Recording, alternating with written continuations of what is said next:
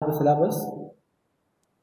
So we are discussing module number three.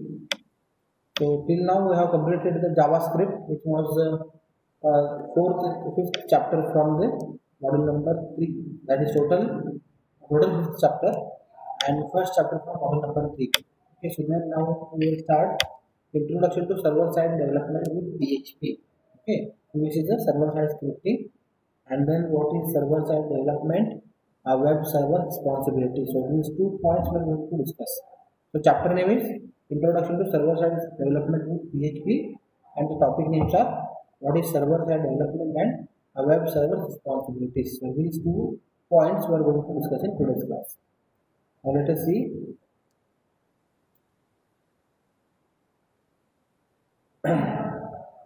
now here uh, so what is first of all server side scripting or development okay so till now we have worked with xml html then css is there then javascript. So all these things are present at the client side. Okay? Now in order to process your request and in order to respond respond you back you have server side development. Okay? So the programs are written in such a way that it should be useful for uh, processing the user's request. In that way you have to write the program that is what the server side development. Okay? And php is one of the basic programming language server side scripting language. And along with that there is some ASP.NET is there. Okay? So we will see those all in uh, something in brief in today's class. So first of all let us start comparing the client and server script. What is client script and what is server script? So the major difference in between these two is the code. Okay? The code is uh, visi- visible at the client side and the code is not visible at the server side. Okay? So if you write the program uh, using javascript or some css or html it is visible. Now how this visibility can be shown is uh, I just i will open here sublime text and program number 7 i think that is date program yes so it is- a date program. So in this program whatever the things are there in the html so that all be shown. Okay so you can see here h1 align center. So this is your html program and here is the php code. So basically this is the server side and when i run this program uh, say localhost then i will go here wp and lab 7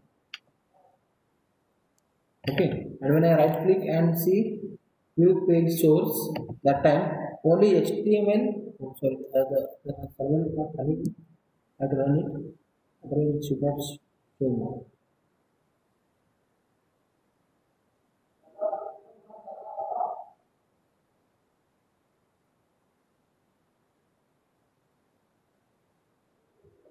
I just refresh here. Okay. Now you see here. So only html and css uh, html and javascript code is shown here but not the php yes?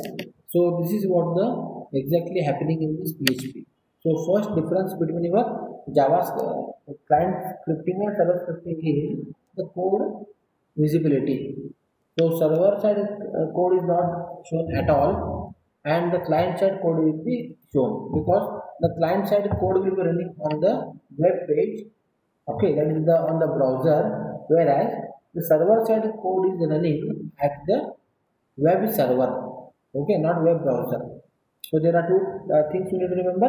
One web browser which is related to the client side and web server which is related to the server side okay. Now wamp is what? This is server okay so i'm running the program behalf of the server. That is being i cannot buy the server from the external vendors because the servers cost will cost say minimum 10000 to 20000 with rent. Okay? So i can't buy so i am using the free freeware lamp XAMPP and one is we have uh, WAMP is there. Okay? So i am using WAMP server over here. So in this program you can see uh, comments in html html program you can see javascript you can see and some css code if it is there you can see here but you cannot see the php code because php is a server side scripting and you can't you can't see that code on the web browser. Okay so this is what the major difference. So this is what the comparison. Next one. Server side script resources now what are the resources are there for the server? Now if you consider our WAMP server so first of all it need the see the WAMP itself suggests everything. So w for it is a window means when operating system is required okay that is done. Then next one WAMP A is A stands for Apache. So one web server should be available there. Apache is a web server okay. Then m stands for database that is mysql okay. And p is for the php scripting language. So this is what the these are the resources of any server side scripting. Okay. Now in order to go with the textbook we need the data storage is very important. That is dbms one dbms one database must be there in order to work with the server. Now you may say Sir, in the lab number lab program 7, where we have used the database. It's not like that. Uh, so already we have, I will show you here, this is a WAMP and if I click here, so it is a PHP. So many PHP files will be available. So php.ini, php.errorlog. So these are the files. So these files will act as a database. The database cannot be always the tables, rows and columns. It can be a file also, no? that is also database you are writing the notes in a book means that is what the storage okay here also you are you are writing the some programs in this uh, classes objects arrays all those things are written in this php.ini file or some error files php error log files. Okay? So this time your database is present in terms of the files rather than the tables and uh, rows and columns. Okay? So this is what one more uh, point. Uh, that is the first uh, resource is your database very important is your database management system then next one. Uh, so how this database we will see this later. So after that database we need web services. Okay if database is there then the clients will be there. How to manage them or how to communicate them? That is by making use of web services. Okay so in the above diagram you can see server side execution how the request services client side execution so first of all you are requesting javascript file is running. Then next you have uh, your server will be giving you back the response. Then executed at the server client side and then the message is but not this case in the server side. So what happens here? You are sending the request first and second process will be done at the server side. The processing will be done at the server side and then you are giving back to the client and then client will display So client no need to do anything, he has to just request. All the processing will be done at the server and it will be given to the client. So this is the major difference between client and server side. Okay. So second important component is you have web services. That is web browser, uh, web, web server you want. In order to process all those, you need web service. So Two major components are what? One is a database, DBMS, another is a web service or web server. You can see here, so in, input script is there and there is some database, web servers, files.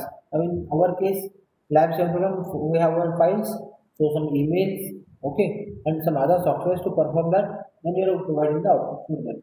Okay, so everything happens with this PHP code. I think this is easy. So please remember two component, very important components. One is the database DBMS and one more is the web services or web servers you can call. Next. Now we have comparing what are the server servers and technology we have. Okay, starting from the scratch we have so active server pages ASP is the product of Microsoft. Okay, first they have started with programming the websites using ASP active server pages okay then later this was the uh, basic and first uh, server side technology provided by the Microsoft so uh, and after that ASP there is a extended version of ASP that is active server page is .NET. So already you know that .NET framework. Okay, C sharp. You have seen C sharp .NET. So similarly you have. So similarly you have the extended version of along with active server pages how other platforms I can support either ASP.NET or C Sharp .NET or anything. Okay, so VB.NET is also one of the visual basics that is also there. So these are some two important technologies. Again, many are there we will see, but first basic uh, server side technology started with this ASP. Okay, so ASP, ASP.NET. Next comes to the JSP, the Java Server Pages. So it is a uh, developed by your uh, Sun Microsystem okay sun microsystem and it is a freeware it is open source technology and nowadays very widely used but the thing is for this JSP is the codes will be written in the hard coding okay many codes will be written so for example if you want to create one button submit button so you have to write some 67 lines code for that and event listener action listener everything is very important so for that the java server tools are not that much useful. Everybody is using nowadays again frameworks also came for the JSP, but this is also some restricted. So you need some the JSP JRE Java Runtime Engine to run the Java programs. How you have JVM for you are running the Java programs at the client side.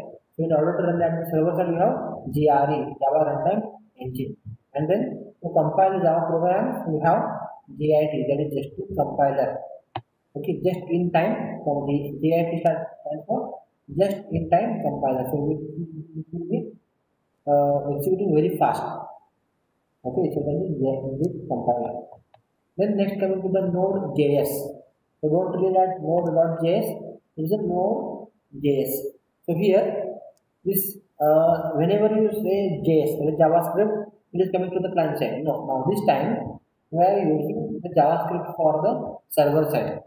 Okay? In order to make the validation at the server side we are making use of node.js okay? And this is also very important component compared to the other uh, techniques.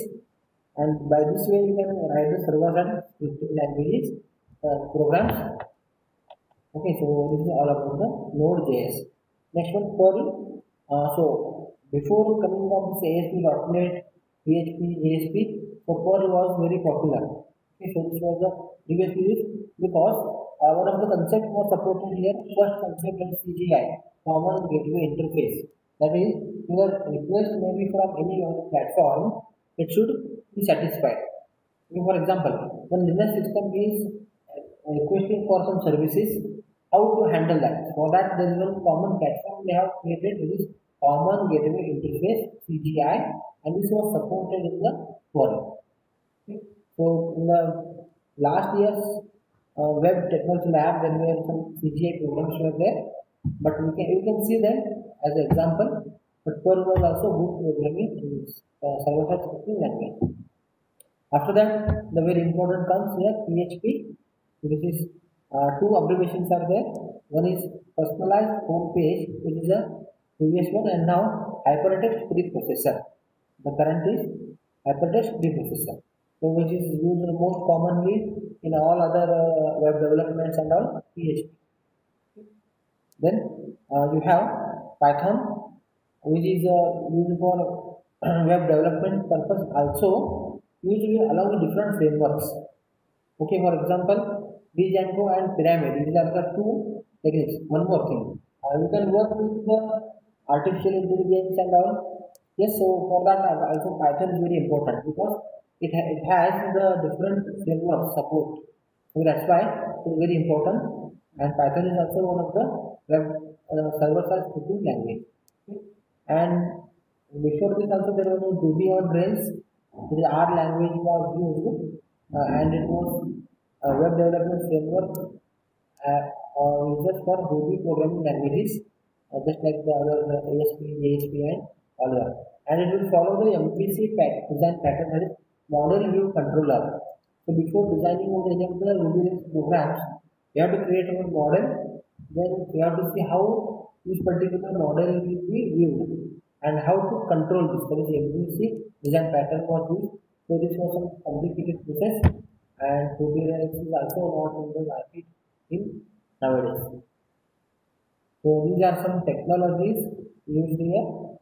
Okay, and these all are server-side scripting technologies. You can see this uh, example web development technologies. So you have ASP.NET, PHP. And for the PHP, there will be PHP pages. For ASP.NET, there will be ASPX or CS. Okay, then there is C Sharp. Okay, so many many are there. In this way, you can use your different web technology. Only for the introduction purpose, please remember whatever whatever technologies are there. The Ruby on Rails is there, PHP, JSP, ASP, ASP.NET is there, and then Node.js is there. Okay, so these are some basic web technologies we have seen brief. So nowadays, Avin has given some WordPress which is a framework like you have bootstrap and css okay so wordpress is also one of the framework which is used for uh, customized software development. Okay so how you want you can just go on changing the pages and one page will be able to other other that is all facilities in wordpress.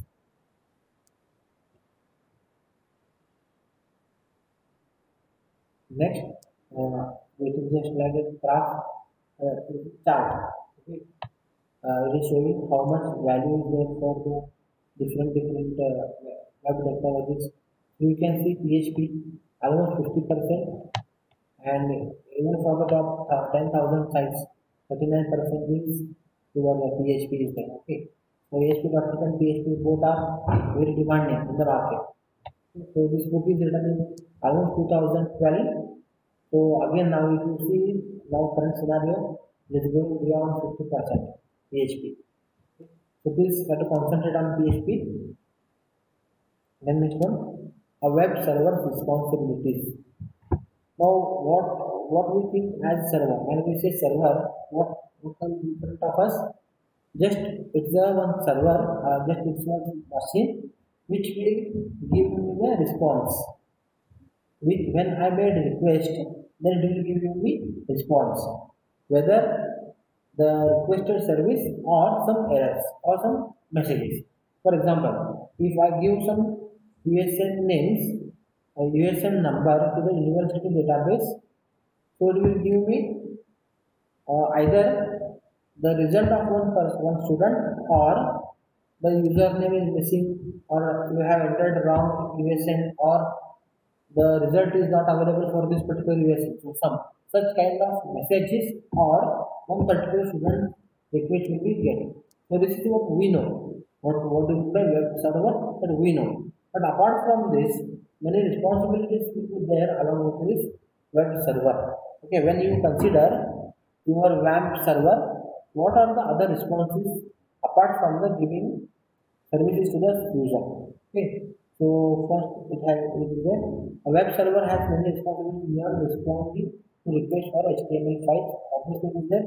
Along with that, it has uh, this includes handling HTTP, HTTP connections, okay, HTTP connections, responding to requests for static as well as dynamic resources. That is one.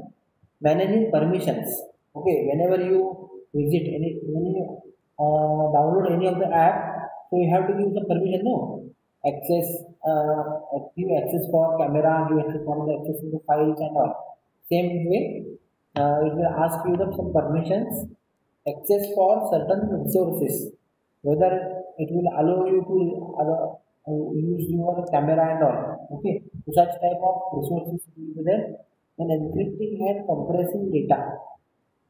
In order to make the communication faster encrypt converting from one form to another form along with that compress it. Okay, for example, if you are sending WhatsApp is first example, if you are sending one MB file to WhatsApp, so when you send it will be 700 kilobytes.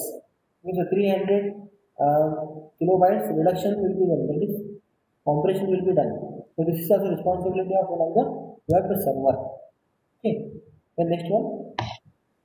Now you have managing multiple domains then URLs, what are the URLs specified, managing database connection, whether the database is open or closed. Okay, so like that, then cookies, storing the temporary information and states, that is sessions, that is then uploading and managing the files.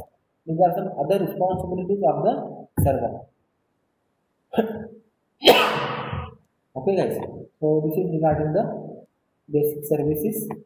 Then along with that there is some uh, example is given LAMP server which is Linux, Apache, MySQL and PHP. So this is what uh, what are the resources used here we have discussed here. Then it uses the Apache server Linux operating system, Apache web server, then MySQL DBMS and PHP scripting language for the server side writing the program. Okay. So these are the resource these are the responsibilities of the web server. Then, uh, then the, there is a pair of uh, connection, that is a relation between Apache and Linux. How they will work? Now, what is Apache? It's a web server. And what is Linux? It is the operating system. Now, how to create in between them the link? This is the question here. Now, this can be achieved using some uh, operating system concepts. Okay. Now, here you are getting a daemon process hey daemon process what process you know I think it is a program under execution okay so one process will handle one particular task is it okay so Apache runs on daemon and server daemon is a process okay so there will be one interface created win operating system and the web server so that will be a daemon process okay and you know now, even if you have opened the Google Chrome, so many uh, four tabs have been opened there. So four sites are opened, but only at a time one site I can see, not all sites at a time. Okay, so these will be running at the background. So this Cisco is running one tab, Google is running one tab. Okay, so Apache server is running on one tab. So these are all uh, uh, they are running at the same time, but at a time active will be one only. Okay, that is what the uh, this concept. this is the relation between Apache and Linux. So diagrammatically you can see here one port and 80 is the port number. So through this port you are communicating with this. So PHP will be there. So PHP.ini. Just now you have seen here. PHP.ini file will be there. Then error log is there. okay then HTTP files you can find here. So that is HTML services. Okay, so many files will be there uh, working at the background.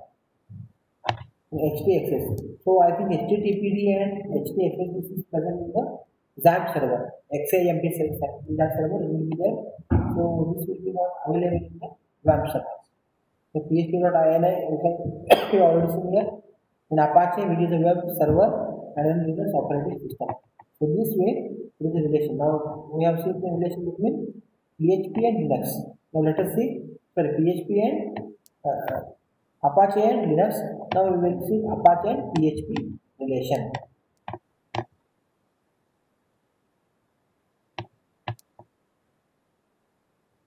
Okay, Apache and PHP. Let us see the difference here, uh, connection here. So here, in order to work with the different different uh, APIs, we have the PHP. Okay, now the PHP, the request made from a Windows system and or it may be a Ubuntu system. It should not be a different one. So in order to handle all those two, we have an interface called mod uh, mod underscore PHP 5, which is nothing but SAPI server application programming interface. Okay, so you make any uh, any request uh, request from any operating system, it will be processed. This is what the Apache module that is the mod underscore PHP 5. It's okay. So this is what the uh, Apache and PHP. Now Apache runs in two possible modes. Okay, so one is multi-process and multi-threaded so here, the most of the concept from operating system will be taken. So how to create one process using fork method, FORK. This is a method present in the uh, operating system which will create one process. So multi-processes is possible. But what about multi-threading? So there is a difference between multi-process and multi-threading. Okay. So process is what? It is a program under execution, whereas thread is it is a lightweight process. Means you can say multi-process uh, uh, multi-threading is a part of one process. Means one process may get two threads. Is it okay? So this is what the concept of multi-threading. So in the diagram, we will see this clearly, more clearly. this is uh, Apache and PHP connection. Let us complete first.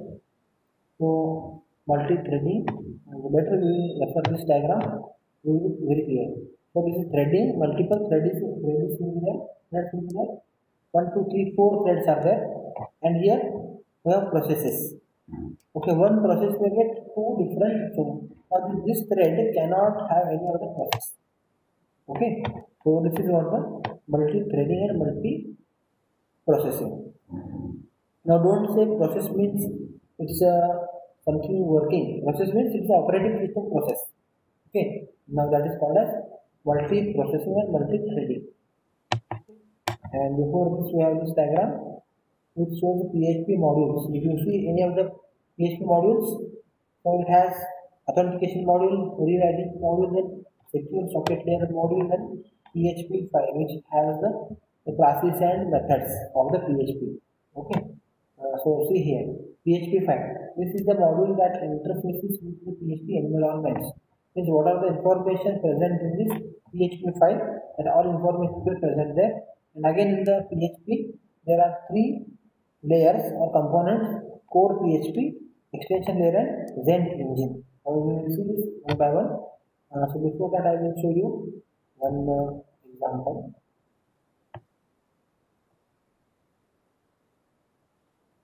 so just go here localhost so my server is working. So in this if i go with php info function so it will execute and it will show me the list of components system what which is the system build date what, what it has been built then what is the zend php extension zend extension so zend is one of the component so zend multiple support many are there so it's a big list will be there present with your PHP. Okay. So you can see here later when you install the uh, WAMP or XAMPP server. So this is what mode underscore PHP file. So these are the four these are the four uh, modules present with this PHP and major three components of the PHP. That is core PHP, extension layer and the Zend engine. And us see. Uh, thread and process that is done. Next we will see this diagram. And then php internals. So three types three major components are there. Modules php core which will be having the php classes objects arrays. Okay then things, math functions all the things present in this php core already we have seen some math program math function okay? So that is all under php core so extension layer which will deal with the database functions like MySQL and some FTP file transfer protocol and then XML or some other language processing that is coming under extension layers. And then Zend engine which is the core of the PHP and which is performing all the operations of the uh, this one in the PHP server.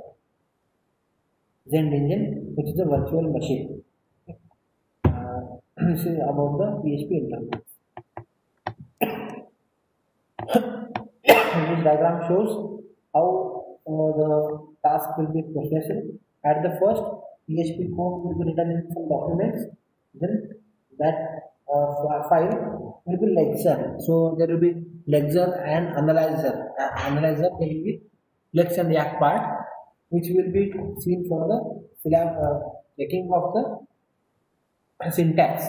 Okay, that is confirmed as lecture then so we are separating the tokens So what are the functions available and echo command, all those things will be separated there. And then there is a parser. It's ready for execution. the parsing and then compiler. Your PHP programs are compiled here and then they are uploaded to display on the web page and this is all under this Zend engine. This is all in the Zend engine. So PHP core is there. Then you have uh, PHP core and extension layer. Sorry, extension layer and one more is Zend engine. These are some uh, basic three components or modules of the PHP. Now here he has given one example, real-time example, installing Apache PHP MySQL on local system. It's just like either you install LAMP server, WAMP server or XAMPP server, whatever. Okay, that is XAMPP stands for XAMPP, which is a cross-platform. okay, so XAMPP means it's a cross-platform. So any programming language can be used, any operating system can be used. Either Linux, Windows or Ubuntu, anything you can use. So step by step he has shown how to install LAMP, that is Linux, Apache, MySQL and PHP. So this is what the installing on the XAMPP server.